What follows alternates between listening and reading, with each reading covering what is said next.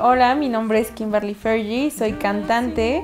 Eh, tengo cinco años que radico en la ciudad de Nueva York y me dediqué a cantar el género del jazz.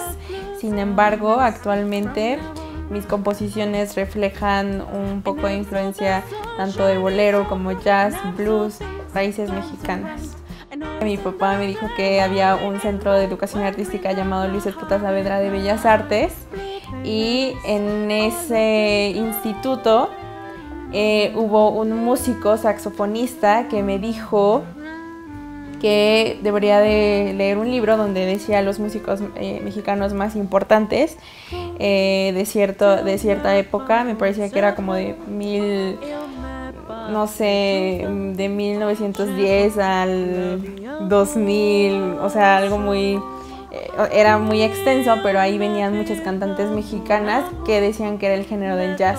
Entonces fue que me puse a buscar en YouTube eh, la palabra jazz y me salió Billie Holiday con la canción All of Me y pues me quedé enamorada.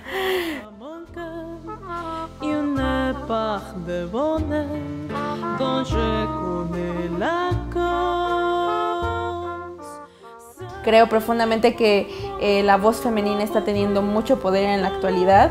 Son violinistas, trompetistas, eh, arreglistas, compositoras, bateristas.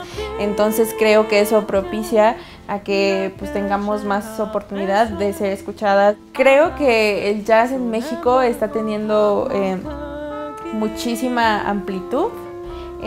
creo que hay muchísimos músicos jóvenes adultos que están teniendo muchísimo crecimiento musical a nivel conciencia y que nos están provocando sensaciones increíbles de, bueno, a mí me, yo disfruto muchísimo escuchar a todos los músicos mexicanos que están haciendo cosas increíbles con sus discos.